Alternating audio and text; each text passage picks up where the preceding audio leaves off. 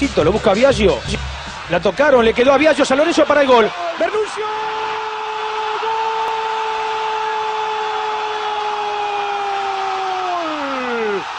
¡Gol! De San Lorenzo! Alejandro Bernuncio, San Lorenzo 1, River 0.